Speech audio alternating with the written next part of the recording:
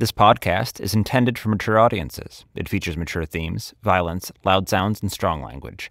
Listener discretion is advised.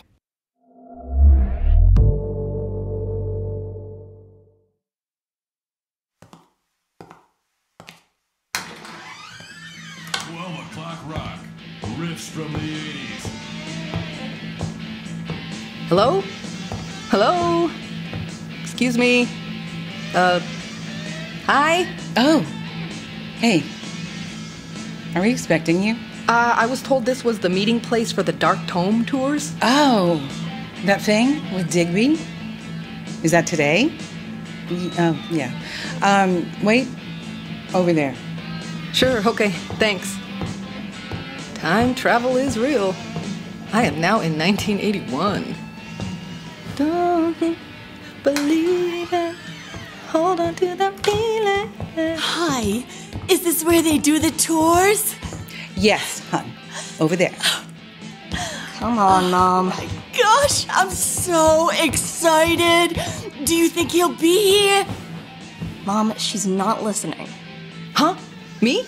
Uh, sorry. Who? The clown. Oh, I am so excited. The clown? What are you talking about? It's his radio station. It's.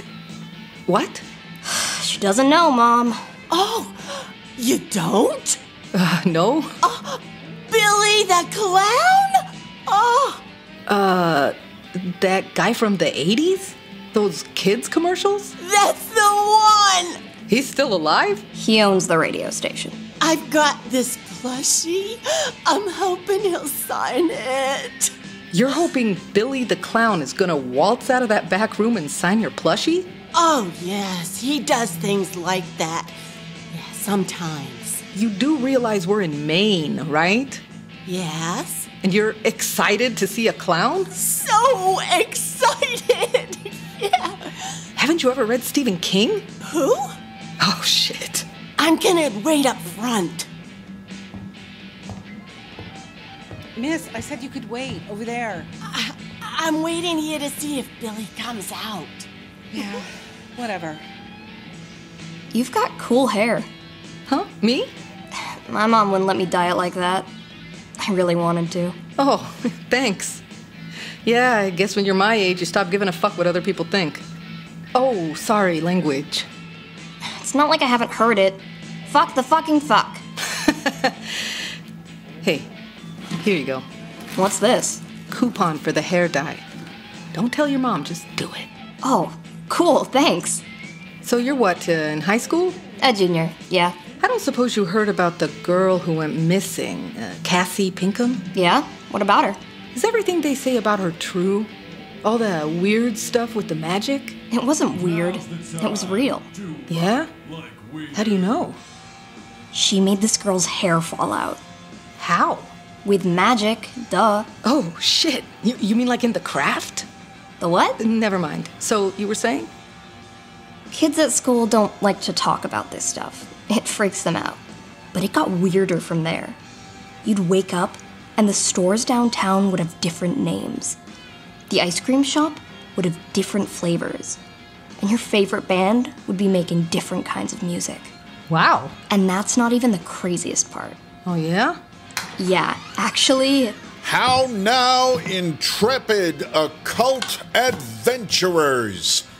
Who's ready to embark on a journey, exploring the unknowable, digging into the secrets best left unsolved, uncovering the insolvent riddle that is the Dark Tome?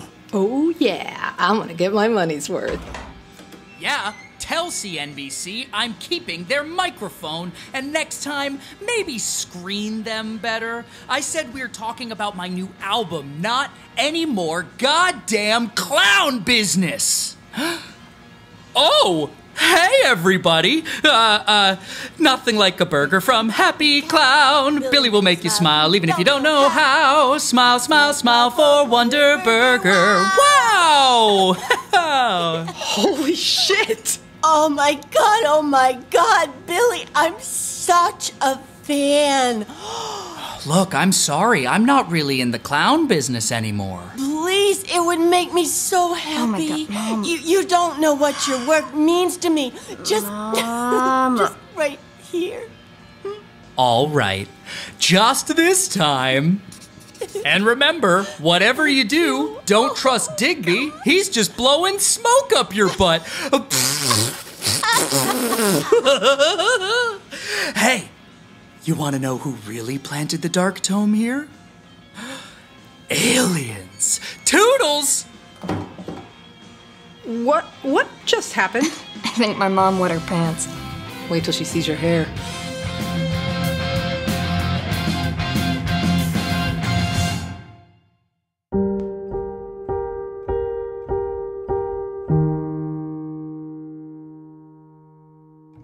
Realm presents a Dagaz Media production, Undertow, a Dark Tome story, Episode 3.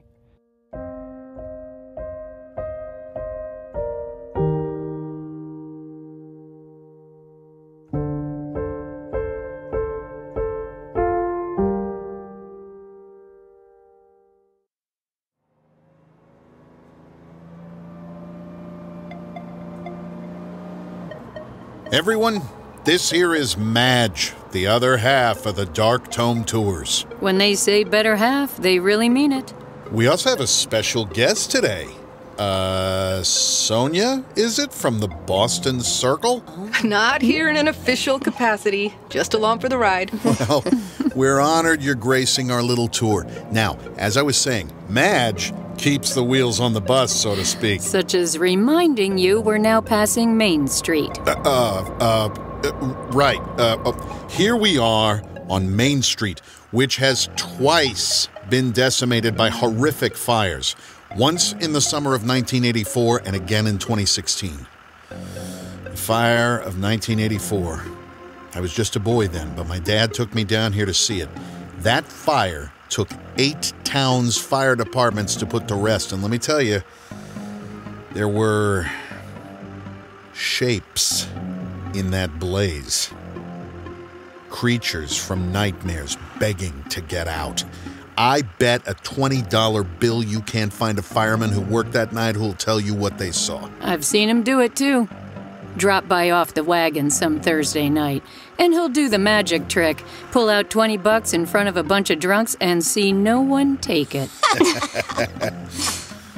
In 2016, there was another fire, suspiciously like the one in 84, only on the opposite side of the block. That pile of rubble used to be the site of Gussie's Rare Books, right next door to where I had a comic book shop with some not so rare books, but equally susceptible to the power of fire. Sadly, all of Main Street remains susceptible to the economic recession, hence the lack of redevelopment, at least in this part of town. Now, both fires, as well as a fire back in 1979 and the hospital fire of 2018, were linked directly to the story of the Dark Tome. Who here knows the history of the Dark Tome? Oh, oh, me. Oh, over here. Come- No, no, no, Calm no. Come on here. Me, me, me, me, me, me. Uh, you don't, miss? Please don't call on me. Okay. Anyone care to enlighten her? Oh, it's the worst of books. A thing demons brought to Earth. It's set on destroying the universe. Yeah, that's what some people think. Any other ideas? It was kind of like the Bible, only for magic. Wasn't meant to be interfered with by regular people, though. Yeah, that's closer to what the records tell us. They tell us that the Dark Tome is a chaos agent, that it's sort of a- an agent of dark matter. The harder you try to understand it, to solve it, as it were, the more screwed up your mind gets. The further you are from truth.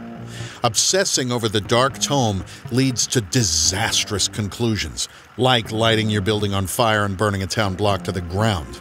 At least that's the story we're led to believe about Wilbur Gussie. Is there anyone here who really believes that fire was started by an ashtray with hot ashes still in it? Oh. yeah, that's what I thought.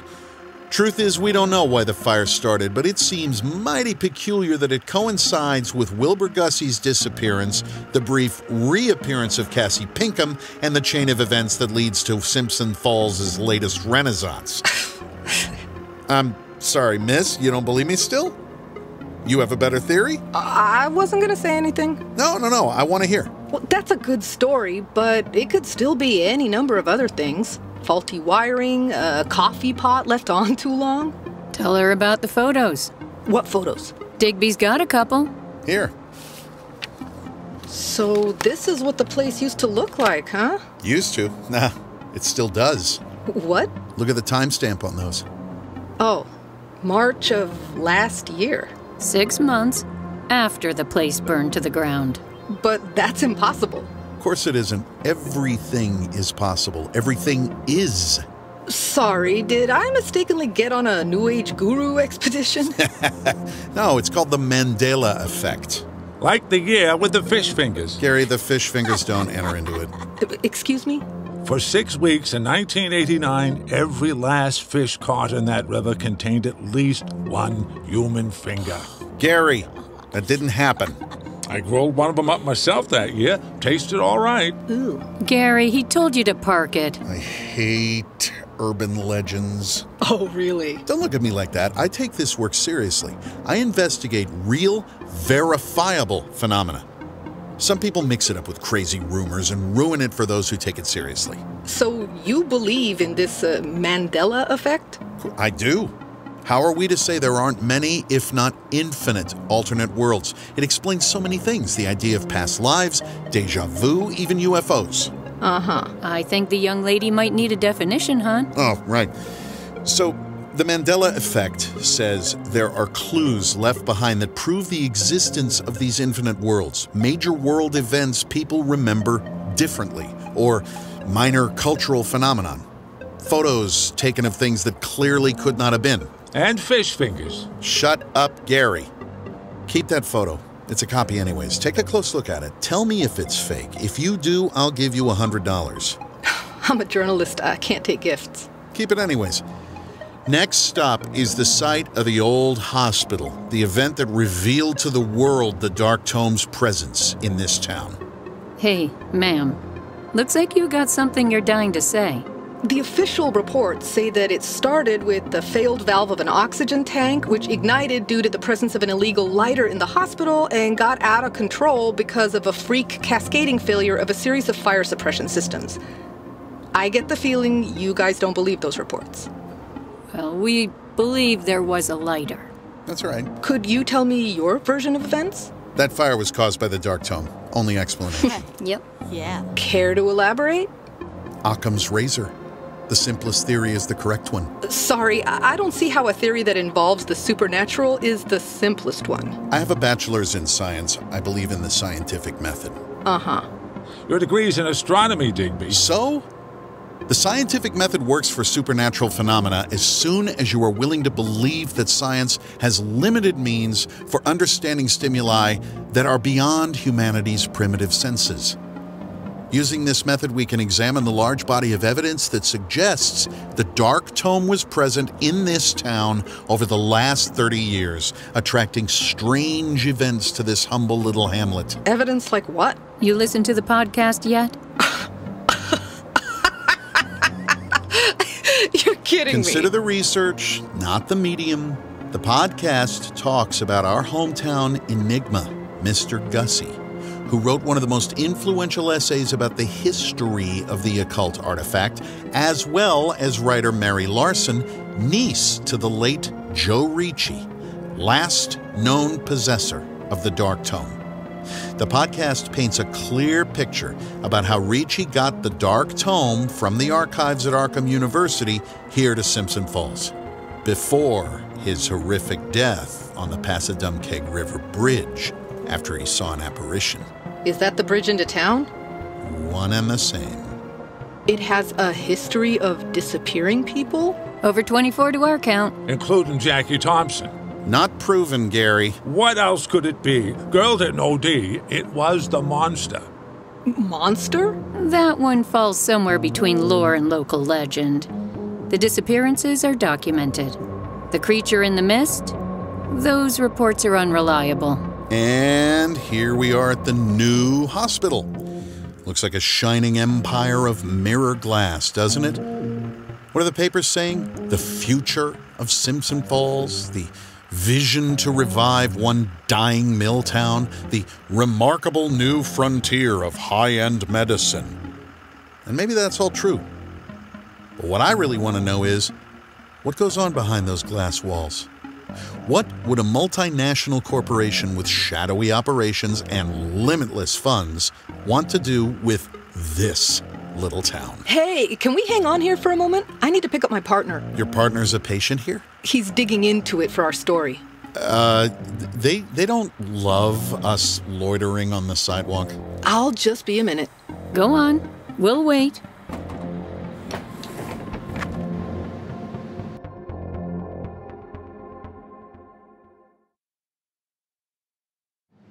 I hope you'll consider Dr. Leopold's offer carefully.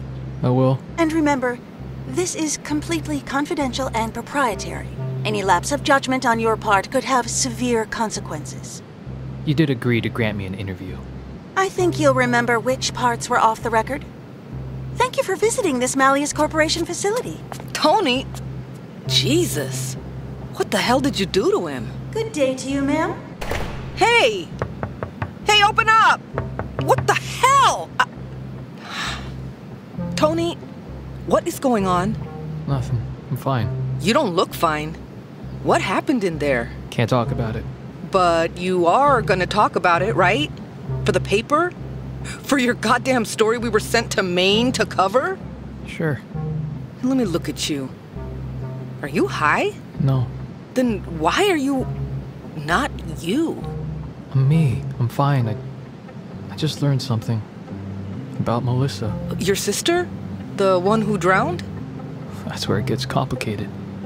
It's tragic, but not complicated, Tony. I need a drink. I thought you quit drinking. A smoke, then. Okay, how about we get on that bus? Hmm? Okay. Hey, welcome aboard.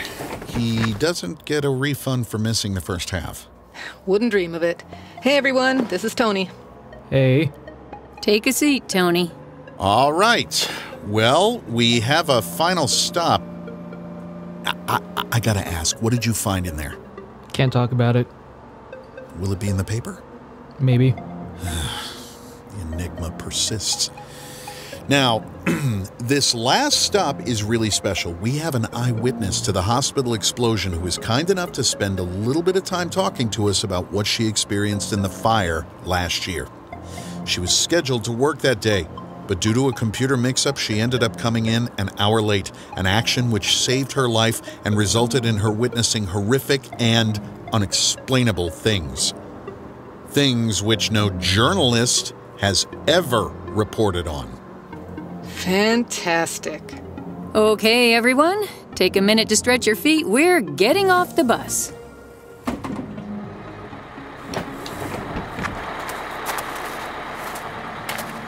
In a strange twist of fate, this is the same condominium complex where Cassie Pinkham's mother stayed prior to her tragic death in the hospital explosion.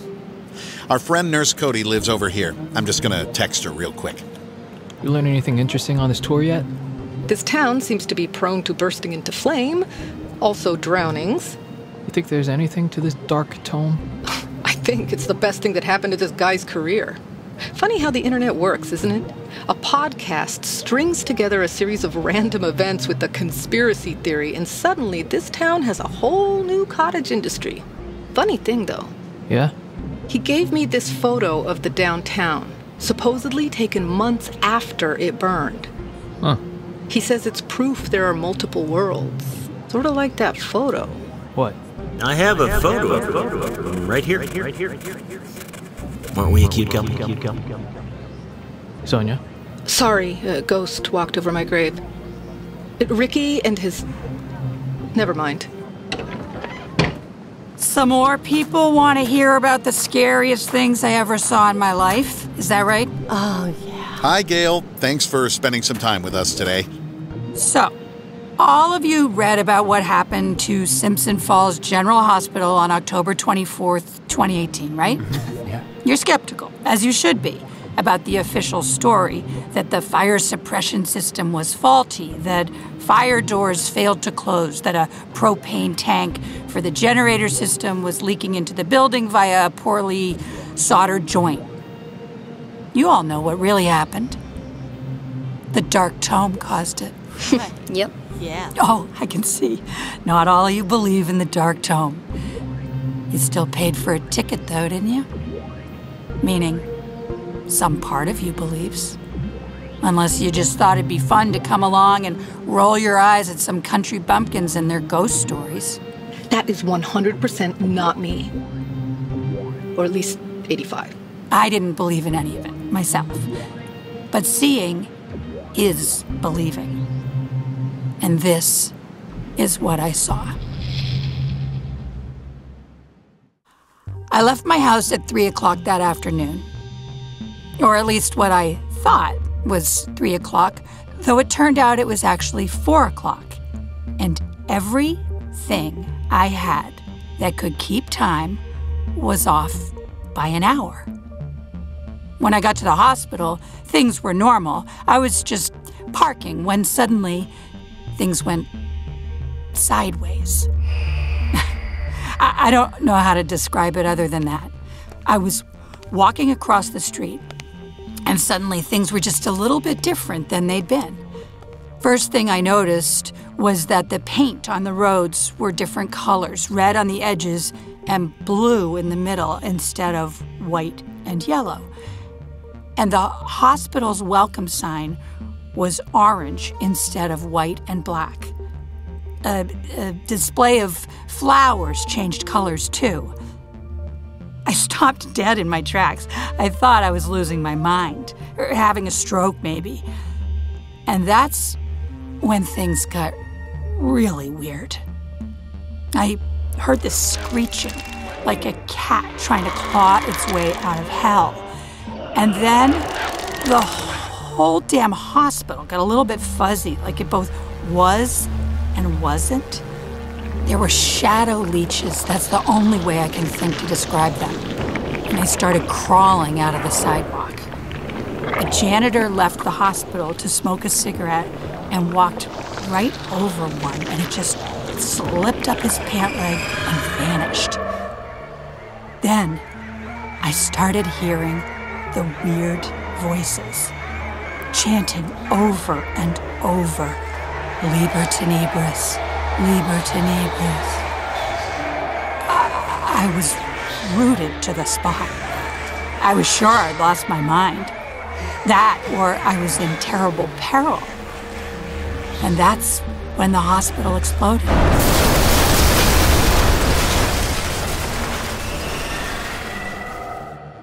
When I woke up, there were ambulances and fire trucks everywhere. Things were foggy. An EMT kept talking to me, asking questions, but I screamed. All I could see were the shadow leeches and the one that snuck up that man's leg. I was back in my world, if you believe that. A world where the lines on the road are yellow and white, not red and blue. But the hospital was still gone. Oh. Did you ever see him again? Who? The janitor. I uh, didn't get a good enough look at him. So he might still be out there. I don't like to think about that. If you'd like, we could tell you some theories on the leech monster. That's okay. Really, okay. Say, sir, are you from around here? Me? Sorry, Gail, we need to be on our way. You're the little brother, aren't you? Oh, poor thing. What? What happened to your sister? It was terrible. Yeah, it was. Um, why are you bringing this up? I was there that night, helped bring you back to life after they hauled you out of the water. They said it was dumb luck you didn't suffer the same fate as her. What? So we gotta go. Back on the bus, folks. Come on, Tony. I. Uh. You saw some strange things that night, didn't you? What do, what do you mean, strange? Nurse, we have to go. My friend's not feeling well. Take my number. You want to talk about what happened? Give me a call. Yeah. Okay. Bye.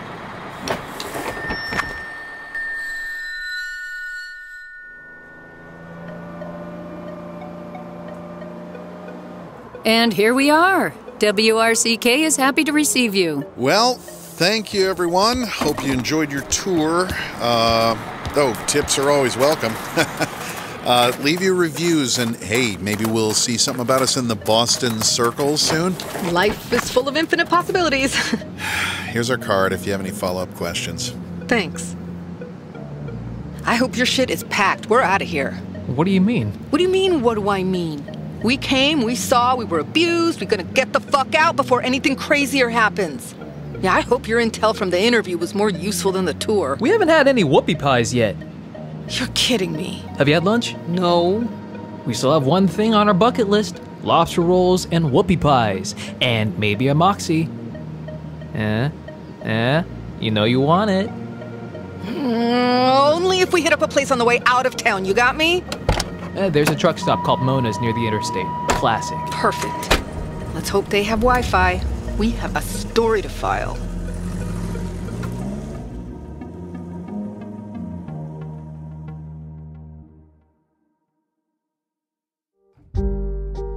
You've been listening to Undertow, a Dark Tome story, created by Fred Greenhalgh, presented by Realm. Listen away.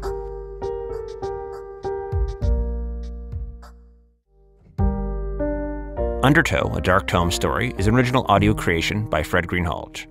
Written by Fred Greenhalgh and Greg Tulinen. Story by Fred Greenhalgh, William DeFries, Barry Dodd, and Greg Tulinen. Based on The Dark Tome, created by Fred Greenhalgh and William DeFries. Story consulting by Christopher Reynaga and Marguerite Croft. Sensitivity consulting by Molly and Dana. The Dark Tome Undertow features the talents of Tony Aiden Vo as Tony Baxter, Stephanie Diaz as Sonia Proud, Jason Grazel as Ricky Hill and X in human form, Colleen A. Madden as Melissa, Anna Carvalho as Maria, Herbie Madden as young Tony, Vivian Madden as young Melissa, Denise Poirier as receptionist, dispatcher, and Roberta, Graham Rowat as Edwin, guard, and drunk, Holly Adams as Tanya and waitress, Kim Gordon as Cynthia, Lisa Stathopoulos as Maynard Mom and Jackie, Lucas Kroll as Kid Ricky, Maya Kolosky as skeptical teen, Moira Driscoll as Nurse Cody in Psychologist's Office, Nathan Dana Aldrich as Marty, Ned Donovan as Billy the Clown, Paul Belfoyle as bartender, local man, and reporter, Peter Berkrot as Sheriff Warren, PG Oakland as Scott, manager and town assessor, Ray Porter as Digby, Wendy Tremont King as Madge, Richard Fish as DJ, Richard McGonagle as Dr. Leopold,